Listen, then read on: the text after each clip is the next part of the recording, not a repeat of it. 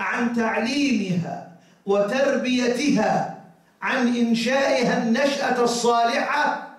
والله سائلك عنها لأنها أمانة في عنقك. مسؤول عن اختيار الأم الصالحة. وأنت مسؤول عن اختيار البيئة الصالحة. وأنت مسؤول عن اختيار المعلم الصالح. وأنت مسؤول عن اختيار الصحبة الصالحة وأنت مسؤول عن كل صغيرة وكبيرة. الرجل راع ومسؤول عن رعيته. وقفوهم إنهم مسؤولون. ستسأل. ستسأل, عنهم يوم القيامة. ستسأل عن تربيتهم عن أمهم. جاء رجل إلى عمر رضي الله عنه وقال ان ابني هذا عقني قال يا بني ما لك؟ عققت أباك. قال يا أمير المؤمنين إن أبي هو الذي عقني قال, وكيف عقك أبوك؟ قال لم يختر لي أما صالحة.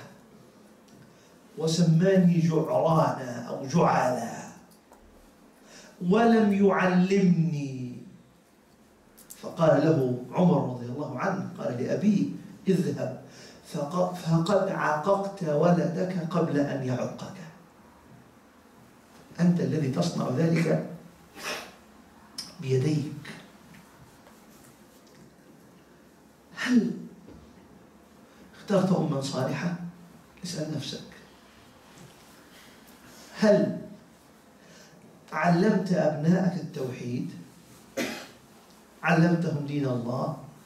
أبعدتهم عن الشرك؟ هل فعلت كما فعل النبي صلى الله عليه وسلم مع عبد الله بن عباس رضي الله عنهما قال كنت غلاما. رديف النبي صلى الله عليه وسلم. فقال يا غلام تعال أعلمك كلمات ينفعك الله بهن. احفظ الله يحفظك. احفظ الله تجده تجاهك. وإذا سألت فاسأل الله وإذا استعنت فاستعن بالله.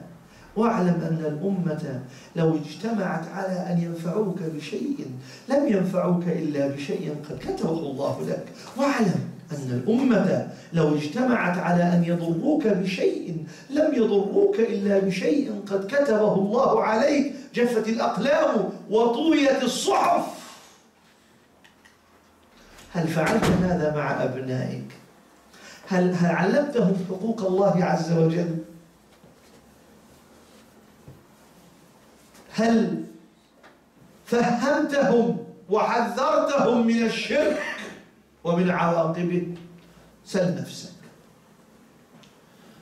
لا أكاد أشك أن معظمنا لم يفعل ذلك وأنت أجب على نفسك. إنك مسؤول عن تعليمهم دينهم. إن كنت قادرا على ذلك فعلته بنفسك. وإن لم تكن قادرا فأت بمن يفعل ذلك وأنفق. أنفق.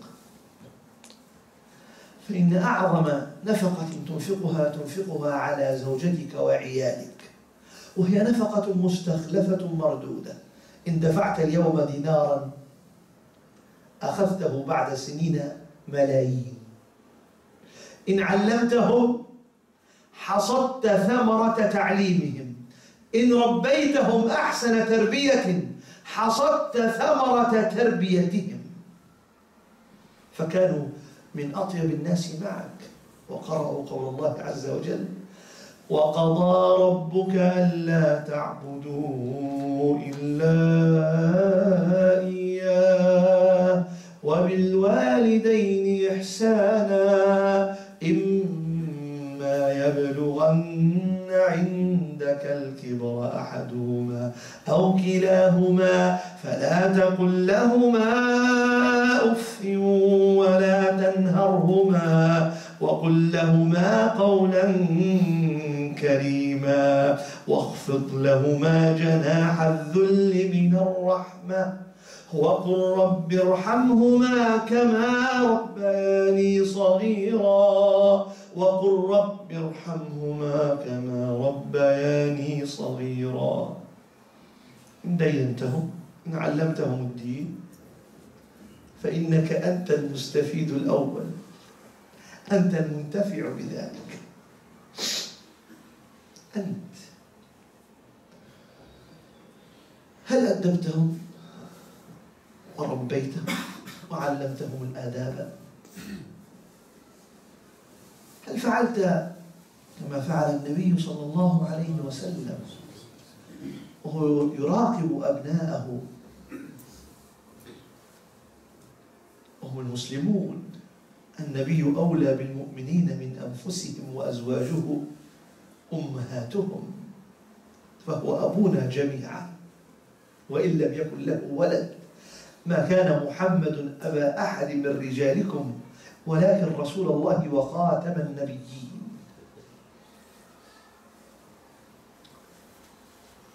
رأى النبي صلى الله عليه وسلم عمرو بن سلمة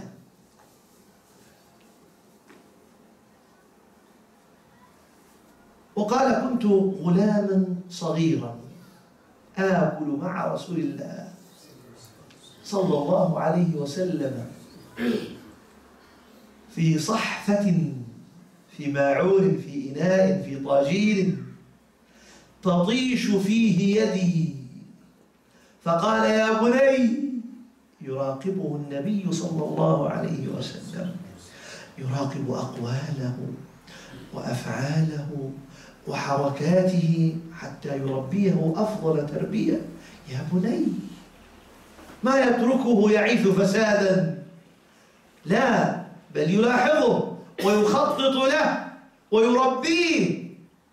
ليس بالعنف وليس بالضرب وليس بالأذى ولا بالشتم. أبدا. يا بني سم الله وكل بيمينك وكل مما يليك. مرة فمرة فمرة حتى يتعلم الطفل ذلك هل علمتهم كتاب الله. هل علمتهم لغة القرآن؟ ستأتي غدا وتشتكي إن ابني لا يصلي فنحن نعيش في الغرب اتصالنا بالحضارة الإسلامية اتصالنا بثقافتنا الإسلامية اتصالنا بديننا قليل جدا ومح يعني محصور في علاقتنا بزيارة المسجد وقد يزور الأبناء المسجد مرة في الشهر أو مرة في الأسبوع وقد لا يزورونه.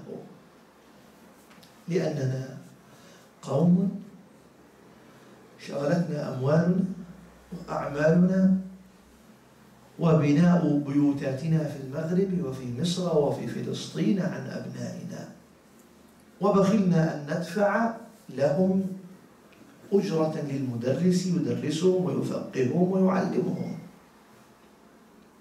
وإن أعطينا أعطينا بعض الهلالات التي لا تساوي شيئا.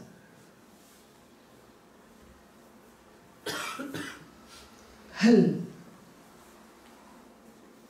أنفقنا على تعليمهم انقطعت علاقتهم بثقافتهم الأم وبحضارتهم الإسلامية وبتاريخهم وبمجدهم. فلا هم إلى حضارة الغرب ينتمون ولا إلى حضارة الشرق ينتمون. فهم مسخ مشوه.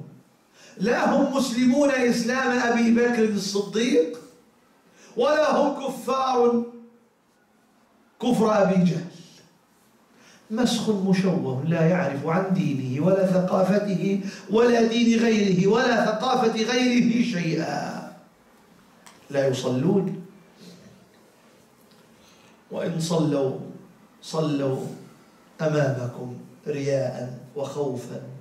لا حبا وإجلالا وتقديرا. وقد يصلي أحدهم بغير وضوء. ولا يصومون وإن ادعوا الصوم أمامنا فيأكلون من وراء ظهورنا. ولا يحضرون مجلس علم